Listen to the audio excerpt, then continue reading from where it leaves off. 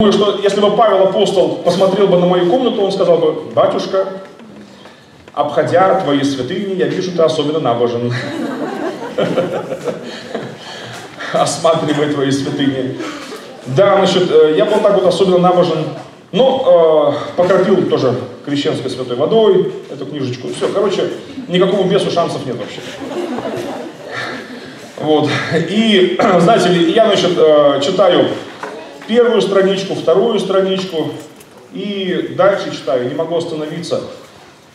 Короче, так на одном дыхании прочел все. Вот, не выходя из комнаты, все и прочел. Только лишь там несколько раз только прерывал чтение, просто потому что просто ревел, просто ревел и... А сам думаю, ну надо, надо же, э, протестант, думаю, а такие православные вещи пишет.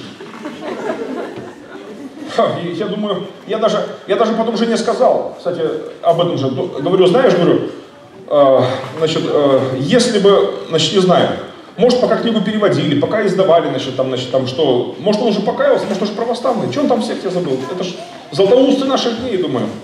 Ну вот, ну ладно. И я жене дал прочесть, она тоже почитала, тоже наревелась, вообще, мы там э, проглотили эту книгу буквально, быстро прочли. И она мне потом после чтения этой книги говорит, а, а помнишь, говорит, а, у нас был разговор, когда-то мы еще только поженились, в Рязани, нет, еще, да, в Рязани уже служил, в 91 году, а, и она рассказала мне случай тогда, я забыл про него, но она помнила, вот, и она напомнила мне тот разговор, спустя вот несколько лет, получается, в 96-м уже напомнила. Там женщина была знакомая, которая была баптистка, которая ходила в себе баптистское собрание, какая-то знакомая давняя, далекая. И, и она приходила, время было еще советское, понятное дело, вот начало 80-х, и, значит, и она вот все разговоры а, переводила к Иисусу. Об Иисусе Христе всегда. И когда она говорила о нем, как говорила так, как будто бы он прям там вот присутствует вообще. И когда люди там неверующие же были все, в основном там, ну, вообще все, они все замолкали от этой неожиданности такой. Значит, и она начинала петь о нем и плакать, и петь. Вот, э, пела так, что было понятно, что вот прямо он здесь. Но женщина-то, она умерла давно уже. И мне э, супруга э, тогда в 91-м говорила, а я как раз что-то вам сказал про, по поводу баптистов, сатанистов, говорю, всяких там прочее. Она говорит, вот была баптистка женщина, ну как ты думаешь, неужели она пошла в ад, потому что она была баптисткой? Я в 91-м сразу, я все знаю, Говорю, конечно. Да ты что, ты еще сомневаешься? Матушка, мать моих будущих детей. А значит, а получается, сомневаешься в том, что, значит, что баптисты э, в рай? Да ты что? Если мы православные едва спасаемся, то для них шансов вообще ноль. И для всех остальных. Вот. Ну ладно. А в 96-м она напомнила, Сережа, помнишь, вот, вот разговор-то был про ту баптистку, все э, прочитал Эрла, этого Штегина, и все вспомнила опять про эту женщину. Неужели она все-таки в ад пошла, что она была баптисткой? И я впервые в жизни допустил мысль, что э, не только мы православные в рай попадаем. Но я сказал так, ну может быть, э, ну не в сам рай, ну, ну там дрова носить, воду, э, воду рубить, воду носить, дрова рубить, короче, короче где-то там, э, да, в, прислужницах, в прислужниках. Но, конечно, не в само царство, но где-то возле, э, за забором где-то там, значит, ладно, под забором, э, ну ладно. Может быть, и то, может быть, если вот такие будут, ну, как вот Эрла. Но я допустил впервые такую крамольную для себя мысль. А может быть, кто-то из них тоже спасется. Ладно. И вот мы когда с Гришей снова встретились, э, я вернул ему книгу его, сказал, что очень сильно она мне понравилась. А, и я попросил еще книгу. Я же прочитал там в конце, что-то трилогия вообще-то. Что-то вторая книга, трилогия. А Григорий такой, о, а я знал, что вам понравится, батюшка. И достает первую книгу этой трилогии. А, Пробуждение начинается с меня. И я такой довольный, беру эту книгу, а он сразу же, куже лезет пока горячо, говорит мне, батюшка, а вы к нам приходите на собрание. Я думаю, э, нет, мил человек, думаю. Американская спецподготовка, думаю. Палец в рот не ложи. отхапает сразу по локоть точно. Думаю, ну как бы, я уважаю вас, хорошие, но как бы не-не-не. Как бы, да. И, ну, я уже, понимаете э, после Эрла Штегена, после там Кваси Забанду, после там этих историй таких потрясающих, я уже не мог ему так вот отказать. Понимаете ли, за этим Гришей, за писятниками теми, там, пусть они даже какие-то сектанты, там стоял для меня уже Эрла, эти покаявшиеся Зулусы там и прочее. Я как бы, поэтому извинился, говорю, извините, но я священник, у меня в воскресенье вот так вот делал. А, я настоятель храма, там, э, литургии, крестины, венчания, отпевания, там, короче, там, большой приход, там, много сел, и, короче, у меня с утра до вечера воскресенье бегать нет. А, а он не растерялся, а у нас на буднях есть будничные дни, есть вечерками, мы собираемся тоже, там, значит, там, поем, молимся. Заходите к нам говорит, на огонек, как говорится. Я думаю, не отстанет ведь, а? Но, но я так сказал ему, говорю, знаете, говорю, ну, если я, какая-то оказия будет, я буду там у вас в райцентре, и делать было нечего, я, я, короче, заеду. И представляете, ангелы подстроили оказию. Однажды вечером я был там у них, недалеко от дома молитвенного, и дело было нечего, реально. У меня вечер был свободный. И у меня мысль такая, а почему бы не зайти к братьям меньшим, а, к пятидесятникам? После прочтения всей трилогии у меня уже э, было такое отношение, что это, ну, ну, Какая-никакая, но родня все-таки. Седьмая вода на киселе, но родня. Вот, поэтому братья меньше, как уже, я уже так уже снисходил. Ну и зашагал, знаете, а я вряюсь с крестом, таким, иду себе, значит, там, как будто всю жизнь ходил. Ну там место знакомое такое. Вот, зашагал к ним, и на, а там здание, это ССУ бывшее, переделанное под дом молитвенный. Ха, там отдельная история с ним, ладно. Значит, и и перед домом молитвенным я вдруг окаменел, остолбенел, думаю, что, стоп, куда я иду вообще? Э, какие ни были бы там младшие, старшие, э, это же у них маленький райцентр, там языки вот такие, язычники же. Там, значит, тем более батюшка, э, это ж, я сегодня вечером уже пол городка будет знать, что батюшка был у сектантов. До меня только дошло. А утром коров погонят, все остальные узнают вообще. Что точно батюшка был у сектантов. Думаешь, а потом думаю, нет, думаю, сейчас я думаю, развернусь, уйду, думаю, молва еще хуже будет. Наверняка меня видели. Ну ладно. В конце концов, думаю, чего терять? Пошел-ка я вперед. Значит, и, как говорится, морду танком и вперед. Перекрестил до молитвенной весь там это, перекрестил все, зашел. А, а там у них, тем более, уже, уже служение вовсю идет, как бы, значит, я, значит, к шапошному уже, получается, да. Но зашел, а в коридоре девушка, она же это, онемела. Батюшка нарисовался здесь на пороге. Я говорю, девушка, а куда мне пройти? Она пальцем только показывает. Думаю, еще да, зомбированная или какая. Ну ладно.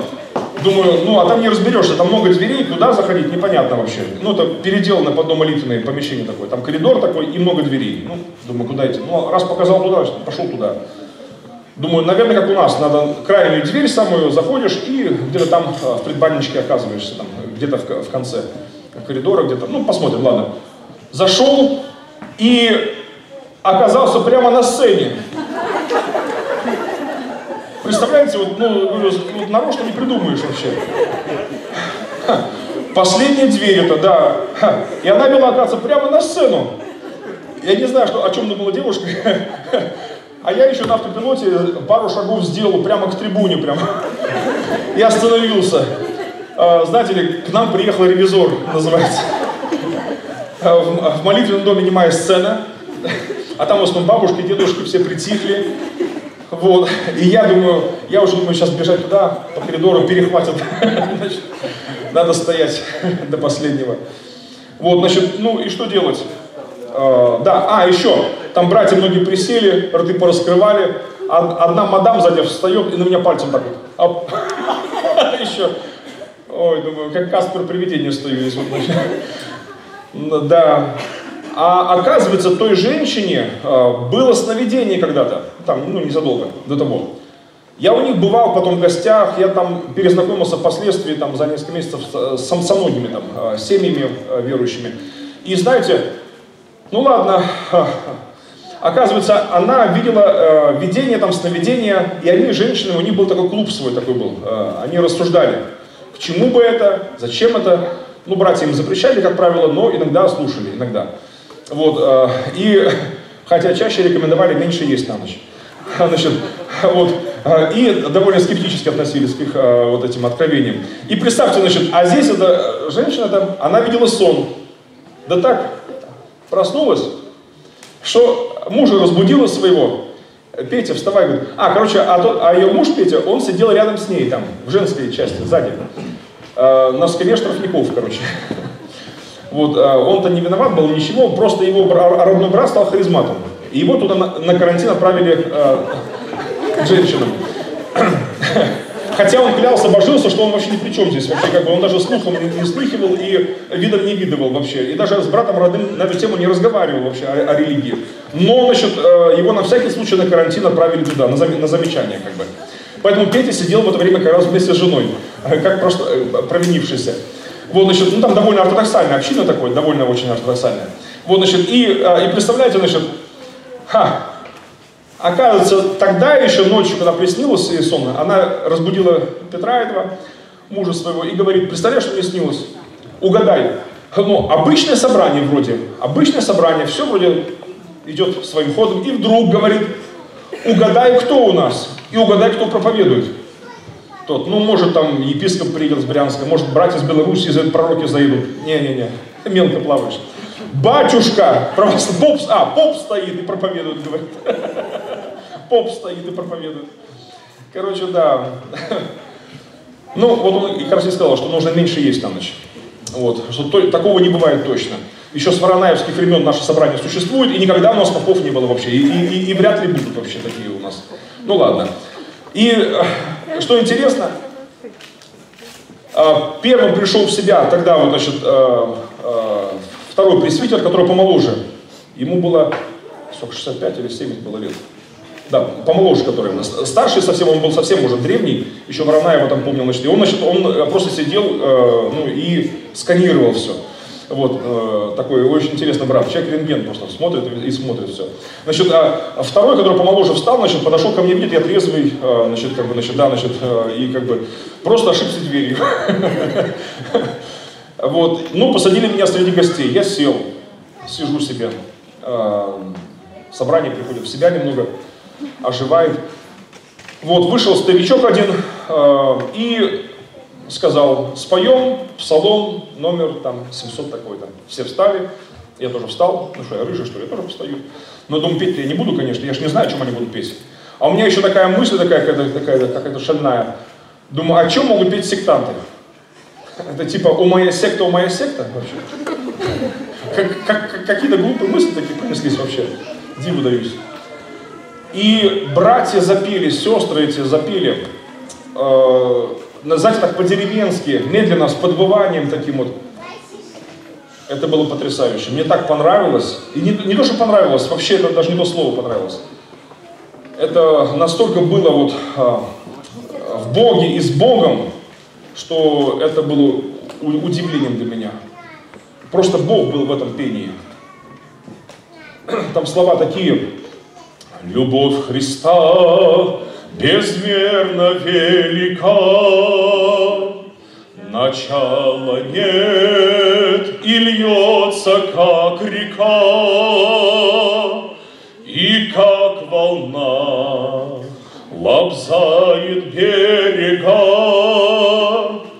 и глубока, светла и широка.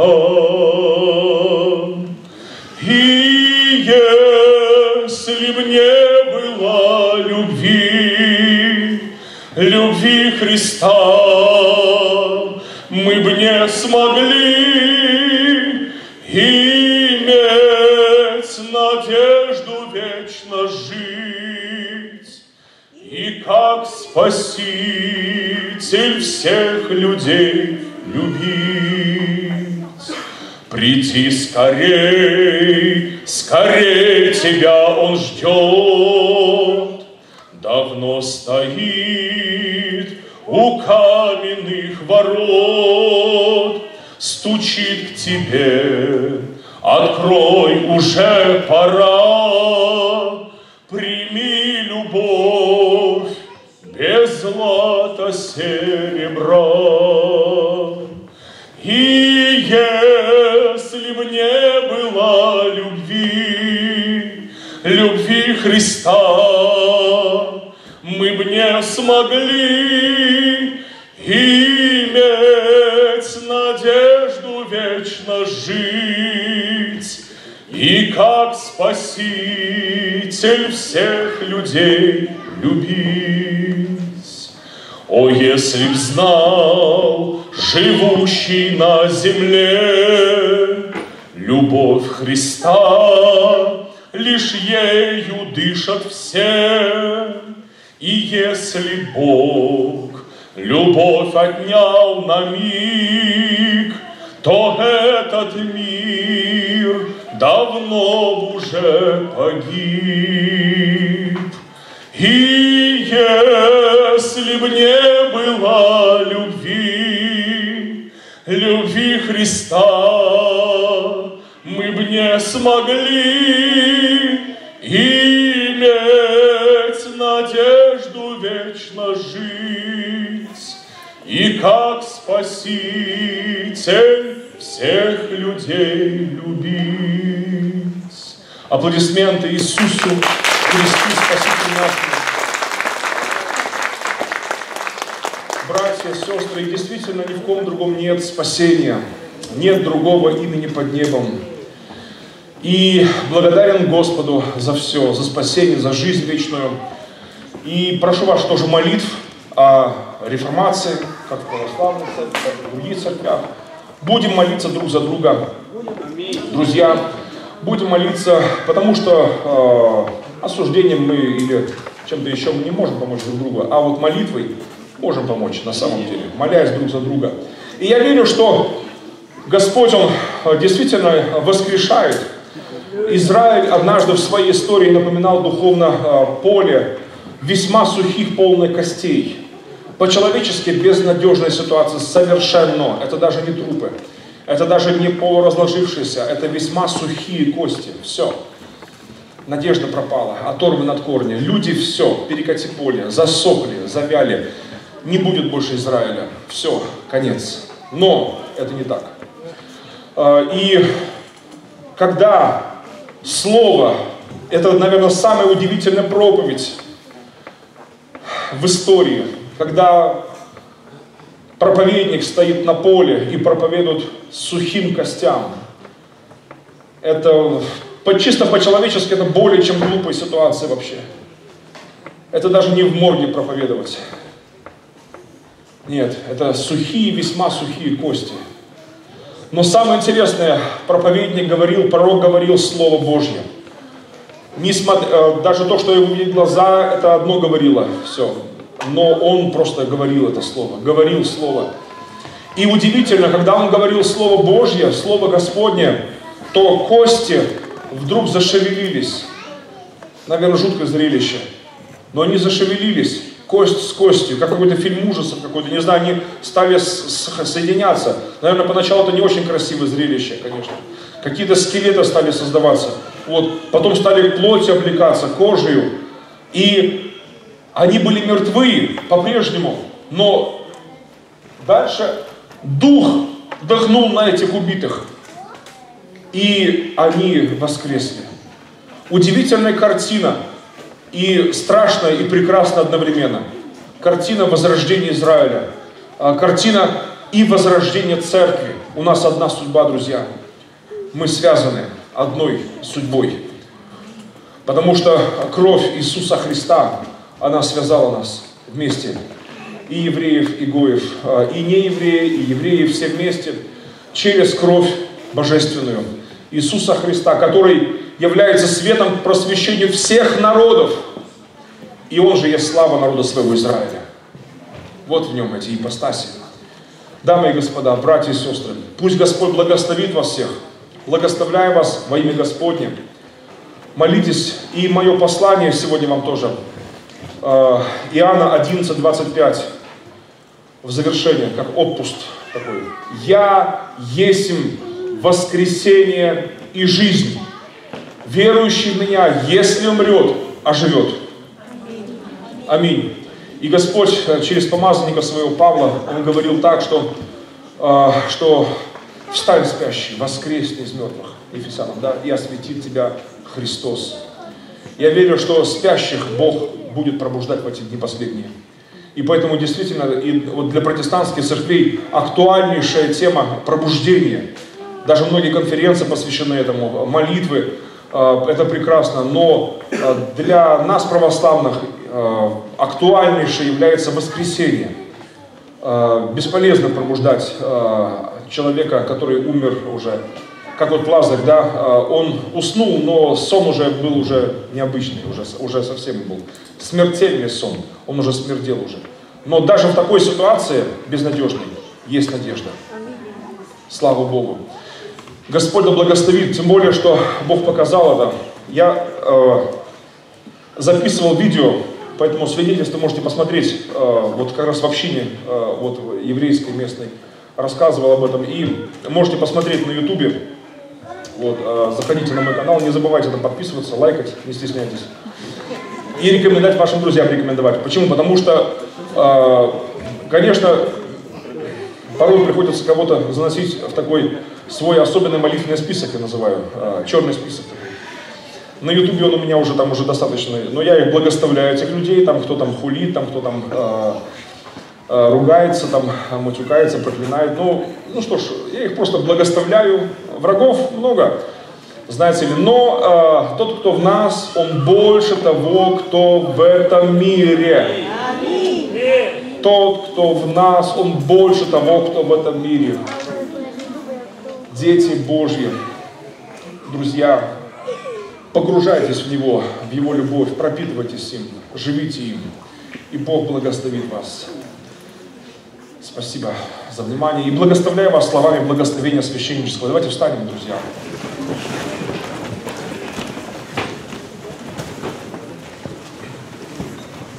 То благословение, которое Бог Всемогущий дал Моисею, тот передал Аарону и его сыновьям, чтобы благословляли сынов Израиля. И сегодня, даже если среди нас не так много евреев по крови, не то важно, от одной крови Бог произвел весь род человеческий. И еще, что во Христе Иисусе для всех благословение сегодня через Спасителя Господа Иисуса Христа, через Иешуа Машеха, благословение на всех вас. И благословляю сейчас а, тоже а, мою семью, благословляю жену свою, детей, внуков, котов. Всех благословляю. Кстати, у нас второй кот, просто нашли его так вот на улице. А, шансов не было выжить ему. Его собака перекусила, потом еще, еще плюс еще он раненый, уже смертельно раненый бросился, и его велосипедист переехал. То есть у него двойная неудача вообще в тот день была, смертельная. Дети плачут, принесли его, давайте будем молиться.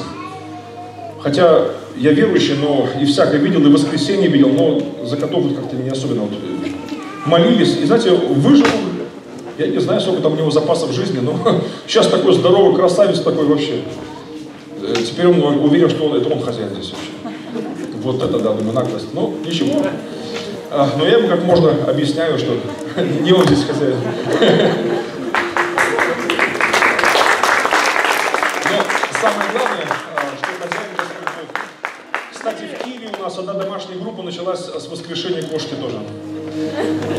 бабушки одной, Нина Дмитриевна, она а, уже была, ей было 86 уже, не, 84 был тогда. А кошка была, ну, по ее кошачьим годам тоже примерно такого возраста. То есть, ну, как бы у них там друг, другое исчисление лет идет. Ну, примерно, вот она тоже была в своем возрасте уже старая такая э, кошка и больная к тому же, и как бы ветеринар сказал лишь, э, нужно только усыплять, все, она уже страдает и как бы и ну, на ладан дышит уже, короче. Вот, ну, а бабушка плачет, это было первое